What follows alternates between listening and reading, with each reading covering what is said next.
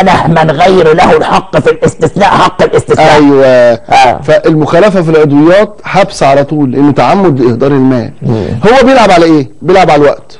طيب خلينا خد ناخد, ناخد آه آه علاء حمام آه علشان خاطر نتكلم في. موضوع اللجنة الأولمبية ومعانا كمان تليفون مهم من الأستاذ وليد قاسم رئيس تحرير كورابيا ولكن ناخد علاء حمام عشان نكمل باقي الجزئية دي عشان الأستاذ وليد قاسم يبقى ملم بكل الموضوع عشان ناخد رأيه فيه. أستاذ علاء حمام اتفضل يا أستاذ علاء. بقول لك انفراد برضو من العيار الثقيل. اتفضل. أستاذ آه، أبو المعاطي قال إن مجلس إدارة نادي الزمالك هيتحاسب على عضويات المستثناه آه. لا اللي هيتحاسب رئيس نادي الزمالك لأنه خد تفويض من مجلس الإدارة إن هو الوحيد في المجلس المسؤول عن العضويات المستثناه كمان المجلس اللي كان فيه الدكتور مصطفى عبد الخالق والكابتن أحمد سليمان والأستاذ هاني شكري. عشان كده رئيس نادي الزمالك بيحارب جدا في موضوع العضويات المستثناه طب، في آه، علاء- دي, دي معلومة جديدة علاء علاء استاذنك طبعاً. عشان في لجنة الثقيل جلال. من العيار الثقيل آه طيب أيام في في المجلس ده كان رئيس لجنة العضويات رئيس النادي ولا أحمد جلال إبراهيم؟ لا هو خد تفويض إن هو مسؤول عن العضويات المستثناه. إن هو اللي يحددها وهو اللي يوافق عليها. بعد ما آه. اتعملت العضويات عمل حاجة اسمها لجنة لفرز العضويات كانت العضويات خلاص اتعملت. آه. وحط على رأس أحمد جلال إبراهيم عشان لما ضايق الصحفيين يقول لهم أنا ماليش علاقة باللي بيضايقوا أحمد جلال إبراهيم. آه واللي بي... آه، واللي بيشطبكم أحمد زي الجواب اللي جالي. آه اللي, آه. اللي بلغني في إني عضويتي مشطوبة بعد ما آه. طلعت الكارنات وخدوا ال 24000 جنيه. أيوه كان مين بقى؟ أحمد جلال ومعاه آه، أحمد مرتضى آه، كان هم الثنائي هو اللي شكل بيهم اللجنه لكن كانت ساعتها العضويات اتعملت وهو معاه تفويض من مجلس الإدارة القديم ان هو المسؤول عن العضويات المستثناة. وهو اللي يحدد وهو اللي يختار.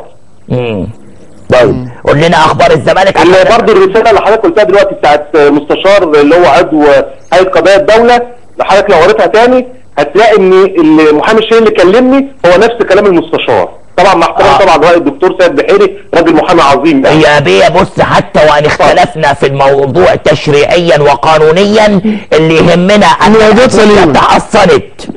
بعد كده تحصنت تحصنت وهم ما حدش يقدر يجبرهم يدفعوا فلوس بس ده على كان.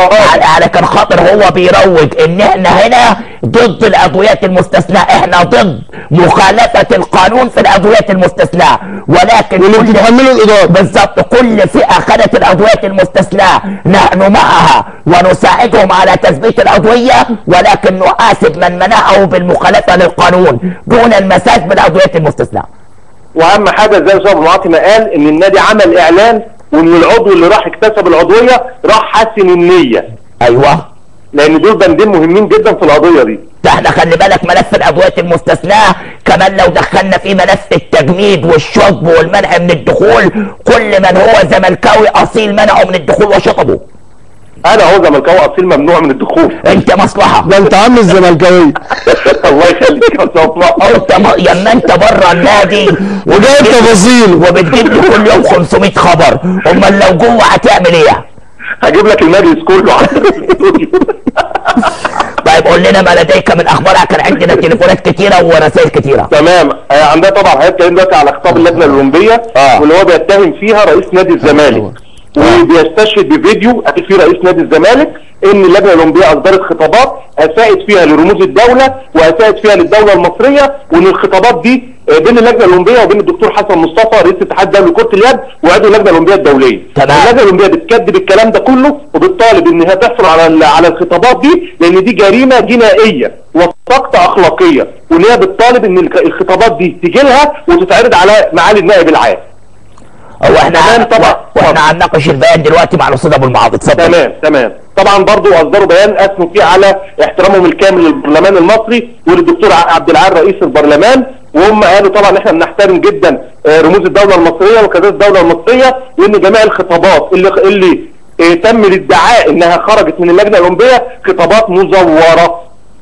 تمام. عندنا النهارده الأستاذ ممدوح عباس آه، وجه إنذار على يد محضر للدكتور اشرف صبحي وزير الرياضة بيطالبوا فيه باتخاذ الإجراءات القانونية ضد نادي إدارة نادي الزمالك لأن. الأستاذ ممدوح شايف إن نادي الزمالك ما عملش ميزانية ما عملش الجمعية العمومية بتاعته اللي هي اللي بيناقش فيها الميزانية الميعاد عدى خلاص وشايف إن ده مخالف آه، وارتكاب مخالفات مالية وإدارية ده يبقى كده مخالفات مالية وإدارية كمان شايف نادي الزمالك بيحط فلوسه آه، بعيدا عن البنوك اللي هي الإيداعات والايرادات والمتحصلات يحطها في خزينة النادي ده برضه مخالف للقانون وشايف إن آه، الجهه الإدارية آه، آه، أصدرت خطابات وقالت فيها إن الزمالك يحط الفلوس في بنوك الدولة لكن الزمالك ما التزمش وبرضه اتكلم الأستاذ ممدوح عباس في مسألة إن لازم آه، فحص العضويات ولازم اللجان اللي قدمت تقاريرها لوزير الرياضة إن هو يفعل التقارير اللي جات له دي. آه، طبعا حضرتك- آه، حضرتك طبعا اتكلمت في مسألة تجديد حبس الأستاذ محمد الشهاوي مدير آه، المالي السابق نادي الزمالك والأستاذ محمد أبو طالب آه، 45 يوم. آه، عندنا النهارده نادي الزمالك أعلن إن هو متمسك بكريستيان جروس وإن مفيش رغبة خالص في رحيله وإن مجلس الإدارة عنده ثقة في المدير الفني للفريق وقال إن هو يوفر له كل شيء.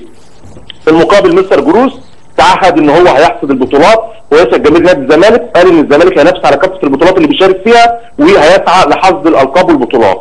عندنا النهارده آه، مستر جروس اختار قائمة مباراة دجلة اللي هتقام اليوم الساعة 8:30 مساء على ملعب بيترو سبورت بالاسبوع رقم 12 من مسابقة الدوري.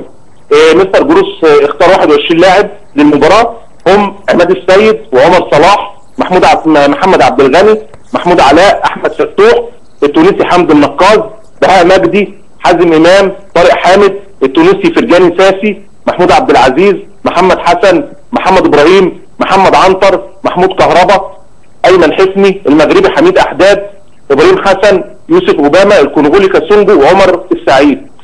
آه، غيابات نادي الزمالك عن المباراة محمود جنش ومحمود حمدي الثنائي الاصابه محمد عبد السلام محمود عبد العاطي دونجا أحمد مدبولي مصطفى آه، فتحي. عبد الله جمعة دي وجهه نظر آه، خاصة بالجهاز الفني. عندنا نادي دجلة طرح آه، مباريات آه، طرح تذاكر مباراة الزمالك لأعضاء نادي وادي دجلة مجانا. وهيبقى في حضور كبير جدا بكرة من قبل جمهور وادي دجلة. برضه يبقى في جمهور لنادي الزمالك. رئيس نادي الزمالك تعهد للجهاز الفني بصرف المكافآت المتأخرة للاعبين. طبعا في مكافأة مباراة مني سمنود ومباراة الإنتاج الحربي اللي هم بتوع كاس مصر. النهارده آه، اعلنا إن نادي الزمالك آه، طلب من احد وكلاء اللاعبين إن هو يشوف مسألة آه، التعاقد مع إسلام عيسى وأحمد جمعة الثنائي المصري. طبعا حضرتك عارف إن العلاقة كانت متوترة بين الزمالك والمصري خلال وجود الكابتن حسام والكابتن إبراهيم حسن. فنادي الزمالك طبعا لما شاف إن هم انتقلوا لتولي المسؤولية الفنية لنادي بيراميدز آه، شايف إن هو ممكن يبقى عنده آه، قوة إن هو يقدر يتعاقد مع إسلام عيسى وأحمد جمعة فطلب من أحد وكلاء اللاعبين القريبين من اداره النادي المصري اللي هو يجس نبض النادي المصري ويعرف آه، مسألة رحيل اللاعبين في يناير المقبل لصفوف الزمالك. آه، نادي الزمالك النهارده استلم الملابس الجديدة بتاعته وده عمل لغط كبير جدا على السوشيال ميديا لأن نادي الزمالك اشترى الملابس دي مقابل نص مليون دولار واشتراها لنهاية الموسم فجمهور الزمالك شاف إن المبلغ ده كبير آه، خاصة إن النادي الأهلي حصل على ملابسه بربع مليون دولار وما دفعش ولا مليم. حصل عليه من الرعاية لكن الزمالك دفع نص مليون دولار. و- و- تمام. و- وجات من غير الأسماء والأرقام ومن غير الخطين الحمر ورجعوهم. فعلا جت من غير لا بس الجزئية الجزئية اللي انت بتقولها دي علاء مهمة جدا. آه. جدا جدا جدا. آه نادي الأهلي لا ما أنا عايز أقول عايز عايز أوضحها بس. إن عقد الرعاية بعض يبقى نجوم نادي الزمالك قال لك عاوزين نبقى زي الأهلي. طب هو أنتوا في الملابس زي الأهلي؟ ما انت زي الأهلي. انت رايح تدفع قيمة المبلغ كاملا. النادي الأهلي خد ب 250 ألف دولار أو يورو ملابس. ثم لو خد بعد كده 40% بياخد ب 40% من سعر الجملة مش من سعر البيع. والنادي لو خد 15% يبقى انت طب انت اشمعنى هنا سايب موضوع الملابس اللي اللي منك مباشر للشركة ورايح تمسك في برزنتيشن وتبعت جواب؟ ما هو إيه لبسك؟ الرجل الخارق. أيوة، ما أنا عايز أوضح. ما أنا عايز أوضح يا لجماهير ما هو أنت امبارح شفت الحلقة؟ الرجل الخارق. أيوه أنا عارف. ده شغل الرجل الخارق بتاع شركة الاتصالات بتاع و- التسويق و- بتاع التعاقدات بتاع السمسرة ده- ده والعمولات الرجل الخارق. والسمسرة والعمولات. آه آه. اللي أنا عاوز أوضحه وبعد كده ده بيستلم ويسلم. يعني ممكن ياخد العمولة آه آه مثلا سين 10 جنيه. هو ليه فيها 2 جنيه والثمانيه رايحين لأصحاب النفحة. أنا عايز بس أوضح إن علاء مس جزئية خطيرة آه جدا طبعا. لازم يجب أن يعيها جماهير نادي الزمالك العظيمة والمحترمه آه. إن الإدارة بتتاجر بس بموضوع الرعاية وبرزنتيشن ومحمد كامل باس ومحمد كامل عيط وحاجات بالشكل ده. طب ما أنت عندك عقد الملابس أهو. لا مع مع ش- برزنتيشن هي برزنتيشن ومع شركة أجنبية. وفشلت. ورايح تجيب بضعف الثمن بنص مليون دولار زي ما علاء بيقول و... آه، آه، وتدفع من جيبك كل المبلغ. والنادي الأهلي بيجيب ب 250 ألف دولار واخدهم هدية ثم لو حب يكمل تاني بيجيب 40% تخفيض من سعر 40% الجملة. من سعر الجملة آه، إذا أنت 15% هنا بتتلاعب بالمشاعر. زي ما قال لك إيه في نادي القرن إيه أنا هدافع عن نادي القرن طب ما أنت كنت نائب رئيس النادي ما دفعتش ليه؟